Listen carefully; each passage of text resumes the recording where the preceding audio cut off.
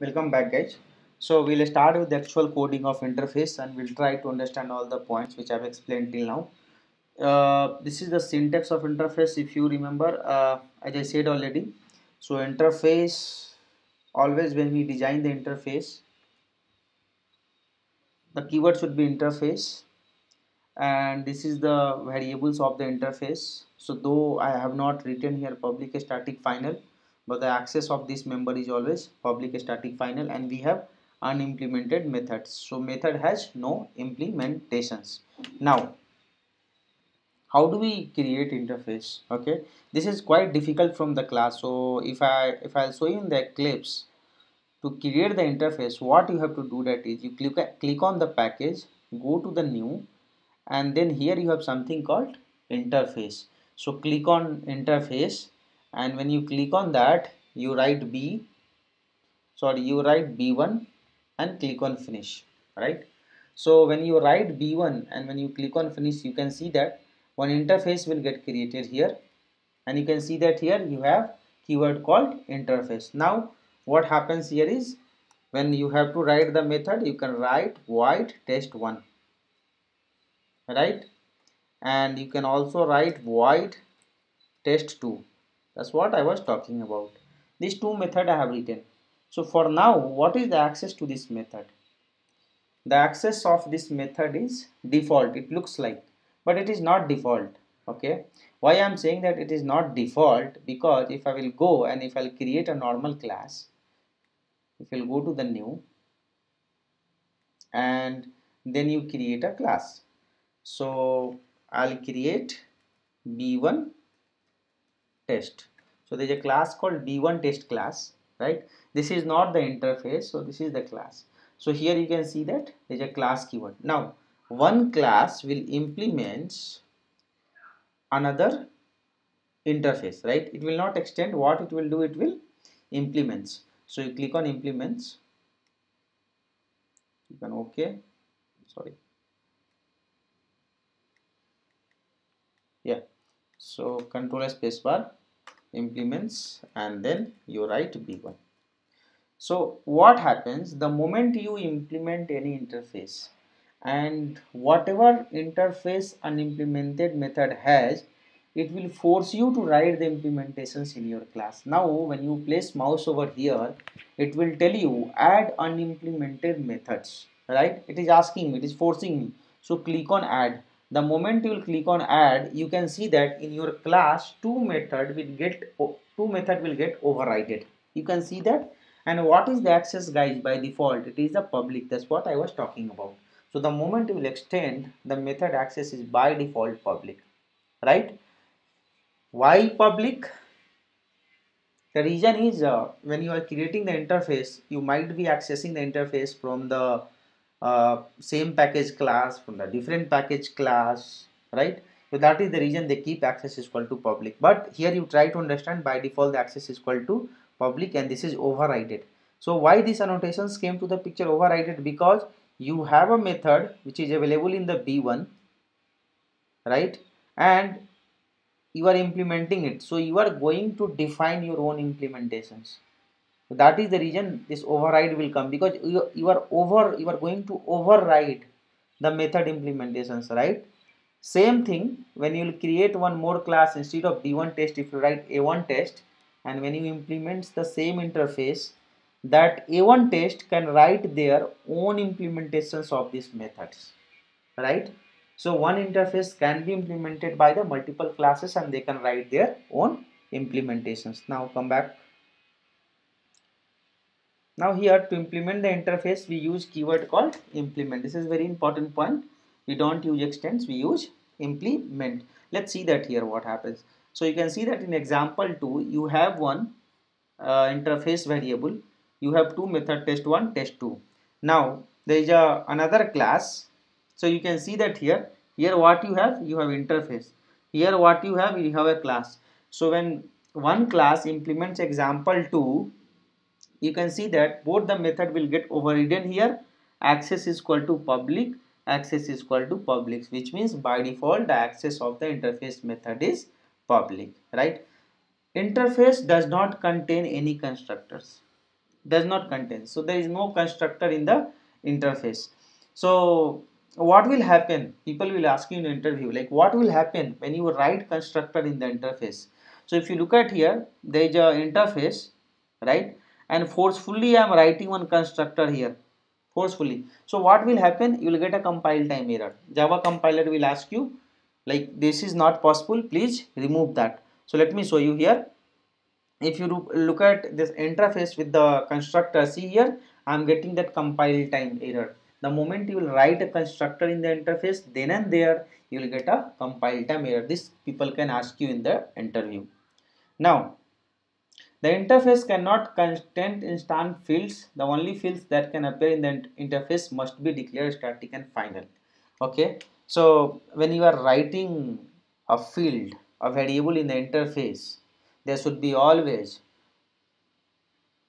public static and final. Okay? There should be always public static and final and you cannot create instance fields. So let me show you with example 4 you'll understand here what i'm trying to say that with example you'll understand better. See here the moment you'll write like this the moment you'll write like this you'll get a compile time. You cannot write like this right? Because it is an interface member interface variable. But if it is a class you can write that which we have already seen that in previous example. In the class I was able to write int here I cannot because the by default this guy is the final static by default. So when any variable is the final right you need to declare it now error will go off from the i right then here the error is coming when you place mouse over there it will tell you see here just place mouse over here it will tell you the blank the blank final fields example 4 may not be initialized right so it is saying that boss please initialize if you want to use it. If you do not initialize you will get a compile time. So this is also not allowed. People will ask you is it possible to create non-final fields in the interface say that no compiler will give a compile time error. Come back. An interface can extends multiple interface. Super example here. That's what I was mentioning uh, before that so an interface can extend multiple interface. Please focus on this. Interface can extend multiple interface whereas a class will implement the interface. If you look at before that what was happening? A class this is the class. Class implements other uh, interface. This is the class. Example 2 is the interface right? Example 2 is the interface. Here you are implementing it. Here you are implementing it. Whereas one interface can extend other interface right? A interface can extend multiple interface which is perfectly fine in case of uh, interface. So if you look at here example 5 in the interface it had it has one method void 5 example 6 is the interface which has one method void 6 now example 7 is the another interface. This example 7 see here? Example 7 what it is doing that? It is extending it. It is extending example 5 and example 6 this guy right? They are extending it. Extending it uh, which means here. So they are able to extend more than one interface by using comma separated. This was not possible in case of class. If you remember when i was talking about inheritance uh, when i was trying to extend more than one class by other class I was getting compile time. But in case of interface it is perfectly fine. You can actually uh, extend more than one interface so why here the keyword is extend whereas in case of class is when implement the reason being is the interface 7 and the interface 5 is of same kind. Both are interface right? So both are of same kind. Even example 6 again it is an interface right? Again it is example 6 is the interface. So if it is of same kind they will extend each other. That was the reason. When i say class class a b c all are of same kind. It is a class right? They will extend. But when i say interface and class both are not same. So class will implement. Here interface example 7 extends because they are of same type. Because even example 5 and 6 has only unimplemented methods. Members are public static final. We cannot create object. Example 7 also it holds good the same thing. So this guy will extend right now uh, in java 8 as i said you can write default and static methods. That is perfectly fine in in case of java 8 you can write one default one static which i have already explained uh, in my above example. Okay as well as you can write one non-implemented method. So this is like two implemented methods one non-implemented. And again uh, this default uh, symbol is required. When you are creating a method which is not static you need to write default otherwise you will get a compile time. When class implements interface when class implements interface right important line here which internally extends more than one interface what will happen? You have a class okay? Class is actually implementing one interface but that interface internally extending some other interface. In that case you have to write the implementations of all the interface method present in those interfaces right? Let's see that here what i'm trying to say that you have interface here example 5 it has one method void 5 you, again you have one, more interface it has one method void 6 now there is an interface 7 which extends 5 comma 6 so here what will happen? Now there is one class. So this is the class when class 7 implements example 7 which is nothing but this. But this guy is internally extending 5 and 6 so example 7 will acquire the properties of 5 and 6 which we have seen that in the inheritance right? So interface 7 will have the member of 5 and 6 right? So when this guy implements 7, this class just example 7, this guy has to write the implementations of the method available in the 6, the method available in the 5. So uh, in method example 5 we had method 5, example 6 we have method 6 and example 7 we don't have anything. So this guy has to write the implementations of method 5 and 6. If it will not do, it will get a compile time error let me show you in the eclipse so let's say you have example 5 here you have one unimplemented method example 6 example 6 also you have one unimplemented now example 7 so these are all interface now this interface extends this uh, this in, uh, another interface right what happens if I write implements see you will get a compile time so one interface cannot implement, you will get a compile time. Why? Because why it cannot implement? The reason is this guy example 7 is not going to write the implementations of the method present in 5 and 6. This guy is not going to write. This is not mandatory. So you cannot, you should always extend.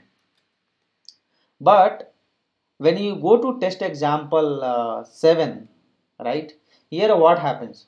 the moment you will Im implement example 7 and let's say this implementations was not there right the moment you will implement 7 you will get a compile time when you will place mouse over here it will ask you please add the unimplemented method. Right? Let me expand this. Yeah. So you can see that please add the unimplemented methods when you click on that automatically 5 and 6 will come which is not even there in the example 7 which is not even there. So from where it is coming? It is coming from example 5 as well as example 6 right? So this is the thing we need to understand. When your class implements the interface which internally extends more than one interface you have to write the implementations of all the method available in those interfaces. Right? I think uh, i think you guys are clear now? Yeah. Now what is the interface real i mean real time example we will understand now so why interface came? Why, what is the need of first of all interface? Why can't we write only class and we can do the job right? So this interface will help you to a great extent when you are working on the common functionality and which is consumed by lot of module in the sense of just to you just to make you understand assume that you have a vehicle. Vehicle is the interface so every vehicle has a gearing system. They will have a change gear they have a speed up and they have a apply brake. So if you look at these three things is mandatory across no matter what vehicle you are going to purchase or what vehicle you are going to manufacture right? So this three method is mandatory. What you can do you can write this three method in the interface. And whenever any car you are going to design any car jeep bus anything. Any vehicle. These three things is mandatory right?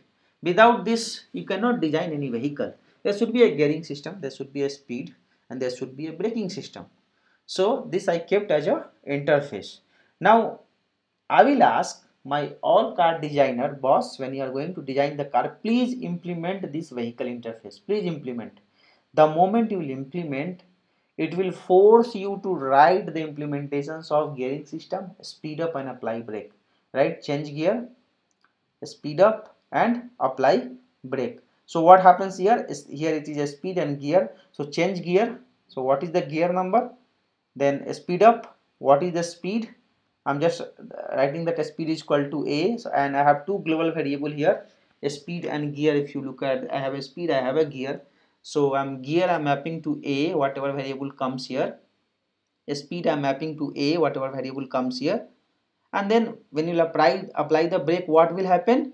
Your speed will decrease. So speed is equal to speed minus a when you are applying the brake. And then there is a display method. This display method again it's a normal which will display your speed and gear right? Now this is for uh, car class right? When car class implements the car has to write implementations for this now there is a bike. There is a bike. Bike also has to implement vehicle. Bike has their own gearing system. It has it has their own speed. It will not be the same what car has. So again this guy can write their own implementations in his class bike class. Like change gear speed up and apply brake. And then display right? Now come to the Eclipse. So look at here. You have bike class implements vehicle class. First go to the vehicle class. Three method you have, right? So that whenever you will design any vehicle, you need to implement this. Now you are going to design a car. So when you are going to design a car, you are making that please implement this vehicle. So what will happen when they will implement, they will not miss this functionality. That is the benefit. They will not miss this functionality. They have to have write the implementations of these three methods. Similarly for bike also the moment they will implement they have to have write the implementations of these three methods right? That is the benefit guys. You need to understand. Now this is the display method. Now let's say you are going to test that right? So this is your car object. You are making the object of the car class and you are setting the change gear is equal to 3 speed of 4 apply brake 1 and this is the bike. We are calling that car dot display then you have a bike. In bike you are setting the gear is equal to 2 speed of 4 apply brake 1 and then bike dot display. So what will happen? The same interface same method but output will be different based on your car design based on your bike design. That is the benefit. So your method is not going to change guys. Right? But what is changing here? The implementations. Look at here. So just let me change here. And let me run that again.